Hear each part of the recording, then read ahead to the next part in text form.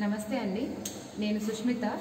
మేము బెంగళూరులో ఒక టీమ్గా పనిచేసాము ఇవాళ ఇక్కడికి ఎందుకు వచ్చామంటే తవాస్మి అని మా బుక్ గురించి చెప్పడానికి వచ్చాము.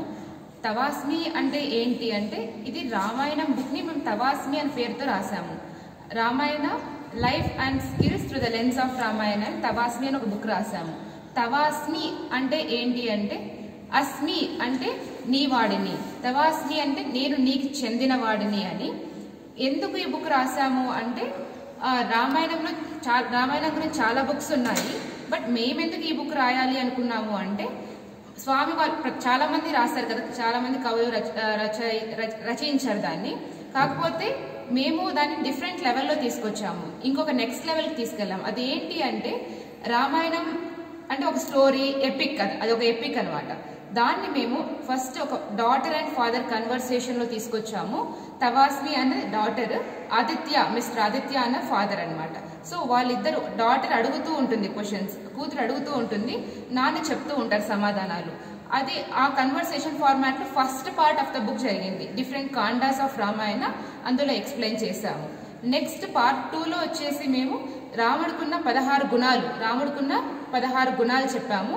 లైక్ గుణవాన్ అని వీర్యవాన్ అని గుణవాన్ అంటే పది మందితో కలిసి ఎలా బ్రతకాలి?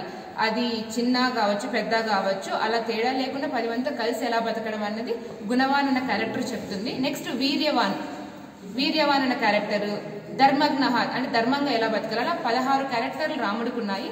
ఆ పదహారు క్యారెక్టర్స్ని మేము డబ్ల్యూహెచ్ ఫైవ్ డబ్ల్యూహెచ్ ఫార్మాట్లో అంటే W five H one format అంటారు. ఎప్పుడు యూజ్ చేయాలి ఎలా యూజ్ చేయాలి ఎందుకు యూజ్ చేయాలి ఏంటది అని ఒక డబ్ల్యూ ఫైవ్ హెచ్ వన్ ఫార్మాట్లో దాన్ని ఎక్స్ప్లెయిన్ చేయడం జరిగింది. అంతేకాకుండా మా బుక్లో వెరై స్పెషాలిటీ ఏంటి అంటే టాస్క్ షీట్స్ ఉంటాయి. నేను చదివింది అక్కడికక్కడే మర్చిపోకుండా టాస్క్స్ అనమాట ఇంట్రోస్పెక్షన్ మిరర్స్ ఉంటాయి. ఇంట్రోస్పెక్షన్ మిరర్స్ ఏంటంటే నిన్ని నువ్వు రాముడితో పోల్చుకోవచ్చు. నిన్ను నువ్వు రావణాసుడితో పోల్చుకోవచ్చు. నిన్ను ప్రతి ఒక్క రామాయణ రామాయణంలో ఉన్న ప్రతి ఒక్క క్యారెక్టర్ని నిన్ను పోల్చుకోవడానికి ఇంట్రోస్పెక్షన్ మిరర్స్గా పెట్టామన్నమాట. అలానే కాకుండా కంపారిజన్ మిరర్స్ కూడా ఉంటాయి. కంపారిజన్ అంటే రాముడికి రావణాసుడికి. కామన్ థింగ్స్ ఏంటి? అన్కామన్ థింగ్స్ ఏంటి? మనం వాటి నుంచి ఏం నేర్చుకోవచ్చు? ఇవన్నీ పెట్టాము. అండ్ రీసెర్చ్ రీసెర్చ్ కూడా పెట్టాము. అంటే టాస్క్ షీట్స్లో ఏంటంటే కొన్ని క్వశ్చన్స్ ఉంటాయి. వాళ్ళు రీసెర్చ్ చేసి వాటిని ఆన్సర్స్ రాయాల్సి వస్తుంది. And media reporting media reporting అంటే ఇప్పుడు మనం చూసాము. ప్రజెంట్గా చూసాము. రామాయణాన్ని చూసాము. లేదా రామాయణం చదివాను. దాన్ని మీరు పక్కన వాళ్ళకి ఎలా ఎక్స్పెక్ట్ ఎక్స్ప్లెయిన్ చేస్తారు? మీడియా రిపోర్టింగ్ ఇలాంటివన్నీ కొత్త కొత్త కాన్సెప్ట్స్తో మేము తీసుకొచ్చామండి. అండ్ ఇది దీని దీన్ని చదవ దీన్ని చదవడం వల్ల ఉపయోగం ఏంటి అంటే రామాయణంలో మనకి ప్రతి ఒక్క స్కిల్ ఉన్నాయి. Life and skills the lens of Ramayana అంటే స్కిల్స్ మనకు లైఫ్కి కావాల్సిన స్కిల్స్ మన లైఫ్ ఒక మనిషి మనిషిలాగా బ్రతకడం ఎలాగా అన్నది రామాయణం చూసి నేర్చుకోవచ్చు. అందులో అన్ని స్కిల్స్ ఉంటాయి అన్నమాట ఇంకొకటి ఏంటంటే రాముడు దేవుడా అంటే రాముడు దేవుడు అంటే రాముడు దేవుడు కాదండి. రాముడు ఒక మనిషిని నేను మనిషిలాగా ఎలా బ్రతకాలో చెప్పడానికి రామావతారం ఎత్తి ఇక్కడికి వచ్చారు.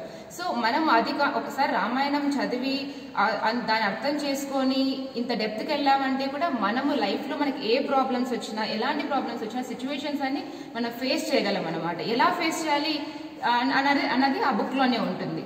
సో ఇలా మేము వచ్చాము. అండ్ మా టీం వర్క్ ఏంటంటే టీం మేము గ్రూప్ ఆఫ్ థర్టీన్ పీపుల్ ఉన్నామండి. లైక్ మా ఆథర్స్ వచ్చేసి వీళ్ళు BITS Pilani graduates computer science graduates physics graduates ఉన్నారు.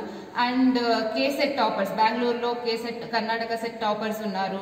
అండ్ నేను వచ్చేసి బెంగళూరు యూనివర్సిటీ గోల్డ్ మెడలిస్ట్ని సో ప్రతి ఒక్కరు ఒక్కొక్క డిఫరెంట్ యాంగిల్లో వాళ్ళ వాళ్ళ ఎక్స్పర్ట్స్ ఉన్నాము. సో మేమందరూ కూడా నేషన్కి దేశానికి ఏదైనా మంచి చేయాలి దేశంలో యూత్ మోటివేట్ చేయాలి అని మేము ముందుకొచ్చాము. డిఫరెంట్ కాన్సెప్ట్స్ uh, తో బయటకు వస్తున్నాము ఈ ఈ బుక్కే కాదు ఇలాంటి బుక్స్ ఒక ఎయిటీన్ బుక్స్ ఉన్నాయి. లైన్గా ఒక్కొక్క బుక్ ఒక్కొక్క బుక్ రాసుకుంటూ పబ్లిష్ చేసుకుంటూ వెళ్తాము. అదే కాకుండా మేము ఒక స్కూల్ స్టార్ట్ చేయాలి. స్కూల్ కాదు విద్యాలయం.